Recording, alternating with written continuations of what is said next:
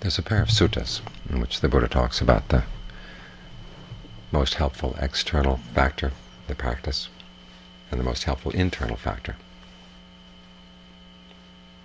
The internal factor is appropriate attention. In Pali, this is called yoniso manasikara.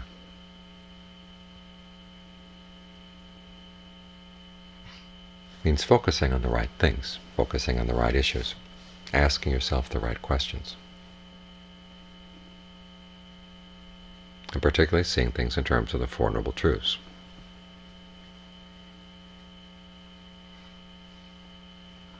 And that's pretty radical. We hear the term Four Noble Truths so often that we don't stop to think about what a radical teaching they are.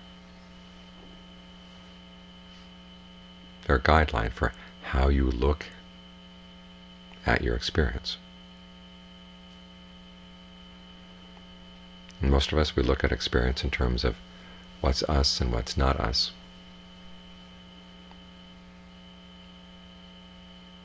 What we are, what things we have under our control, what things we don't have under our control. What things we like, what things we don't like. and then we start building things up from there.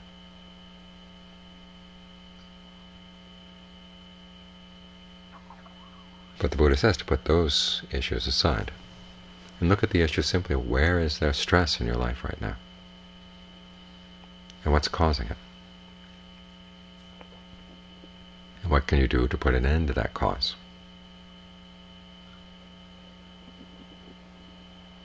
That's it.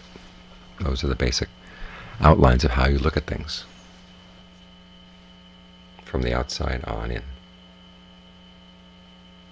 Essentially, it's a problem-solving approach. Years back when I was teaching English composition in Chiang Mai, I had a lot of social science majors, and I figured it'd be good for them to learn how to analyze a problem and propose a solution based on the cause. So we started out with, had them write advertisements. For the guys, women don't find you attractive. Why is that? Well, maybe because you don't look old enough or mature enough. So you'd look more mature if you smoked cigarettes. That kind of thing. And then once they got the basic principle down that when you, you attack a problem, you don't attack the problem, you attack the cause. Then we worked up from there until we got to social issues. Well, the same principle applies inside.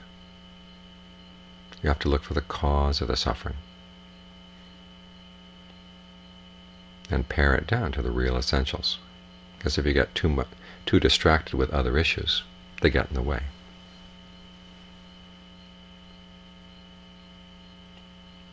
So we're here to look at, as the Buddha said, the craving in our minds, the craving and the ignorance. Those are the main causes.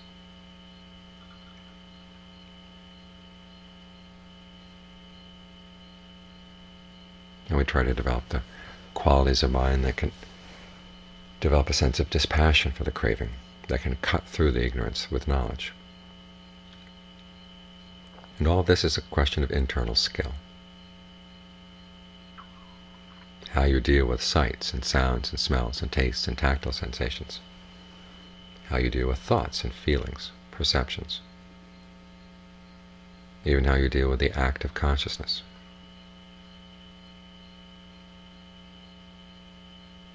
All these things are a matter of skill. This is why the Buddha didn't present himself as a savior. He was a teacher he pointed out the way. And part of his pointing out the way was basically through his own actions, his own way of dealing with people. You could see him in action. So this is how a skillful person acts. This is how a skillful person speaks. This is how a skillful person presents his ideas or her ideas.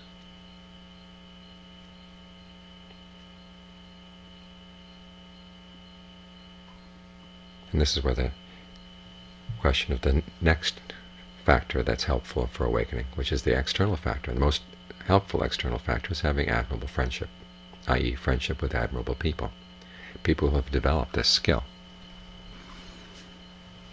And they can teach it to you. They can't make you skillful, but they can show you how to be skillful.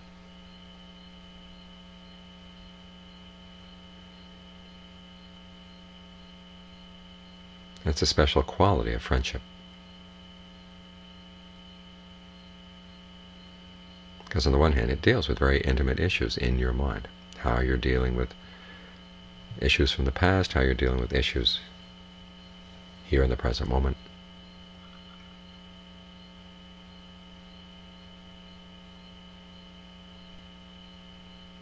And the issues are very internal.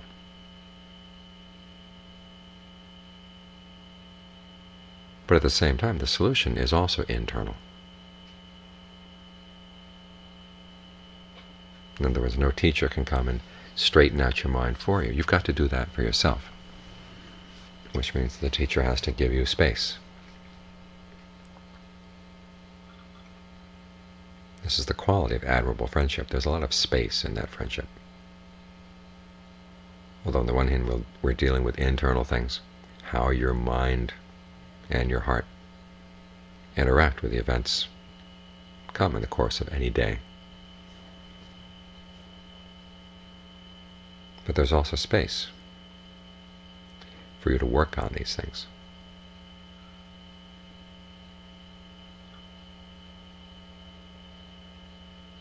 In other words, it's the kind of friendship that encourages appropriate attention, because ultimately it's that internal factor is the most important one.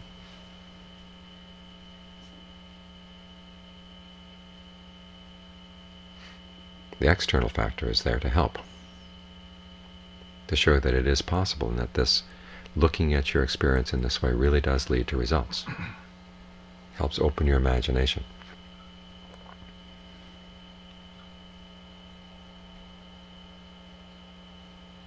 It's like seeing someone walk on a, on a tightrope. If you had never seen anybody walk on a tightrope, you might never even think that it would be possible. But suppose as a child you go to the circus and you see someone walking on a tightrope and that inspires you. Maybe you'd like to walk on a tightrope as well. Simply seeing another person be skillful indicates to you that it is possible.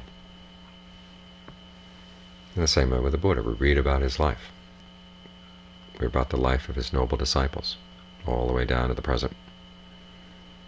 That it is possible to put an end to suffering. For most of us, that possibility if we hadn't heard of it, this wouldn't occur to us. We might think in a moment or two that we'd like to have that, but then there's so much around us that would try to convince us that it's not possible. In the same way, the time of the Buddha.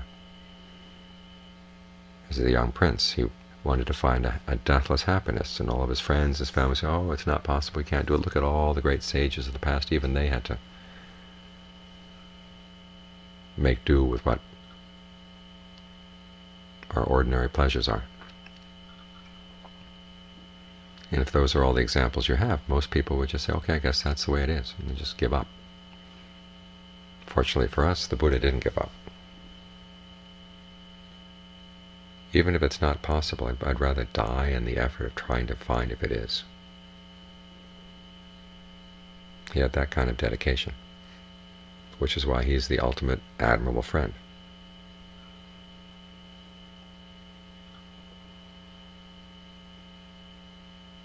But he not only came back and said, hey, I did it, he came back and said, this is how it's done. And he put in all the time and effort and energy. If you want to get a sense of how patient the Buddha can be, read through the Vinaya. All the monks and nuns who were misbehaving. And he very patiently had to set out rules, okay, to stop this, stop that. He went through all that, so this would keep the religion going, keep his teaching alive one of the stories is how the, there was one year when the monks were invited to spend the rains in a certain place, and the person who invited them there forgot all about them. And it turned out there was a famine. There was hardly any rice around. The monks ended up eating the barley that was usually used to feed horses. Sariputta got concerned. Maybe this is going to be the end of the teaching. So he talked to the Buddha about this. What, what is it that puts an end to the teaching? What is it that guarantees that the teaching will last a long time? And the Buddha said it's by setting out a patimokkha, setting out a set of rules for the behavior of the monastic sangha. That's what keeps it alive for a long time. So Sariputta said, well, set out a set of rules then, please. The Buddha said the time hasn't come for that yet. It's when people start misbehaving. That's when you have to set out rules. And sure enough, people started misbehaving.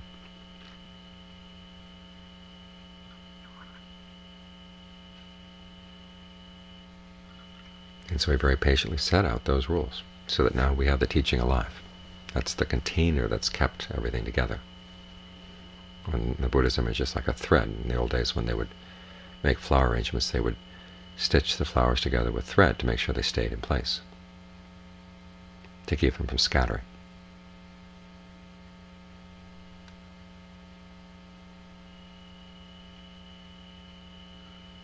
So the Buddha went through all that to give us sets of standards, not only teaching us the Dharma, but also giving us the patterns and the protocols to show how a group of people living together practicing the Dharma, how do they live together?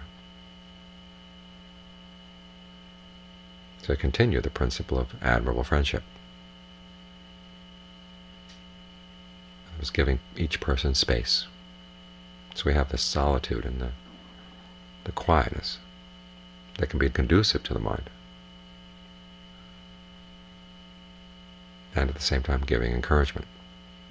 In other words, even though we live together, we try not to get in each other's way, and we have with the fact that there are quite a number of people here together is actually an encouragement in the practice. That's what our basic relationship should be.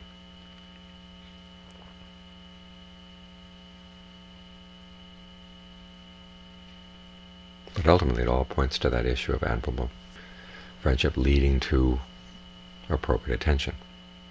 Because appropriate attention goes deep down inside. It goes past in those parts of the mind where no outside relationship can touch.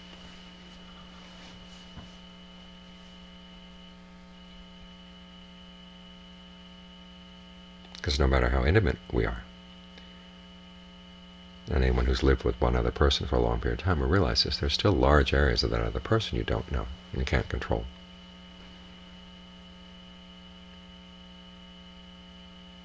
You see this especially when the other person is sick, when the other person is dying. There comes a point where you can't reach them.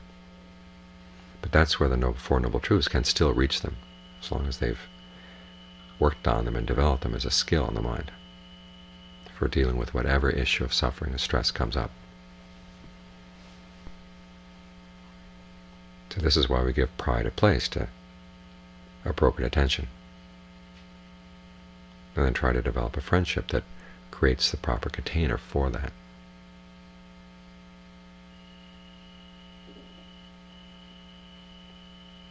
So that in living here together, our our activities are actually a help for one another and not an obstacle to awakening.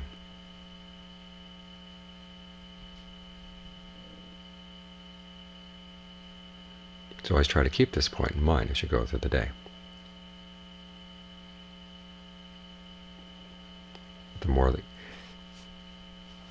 you apply appropriate attention to your own experience, the more you become an admirable friend.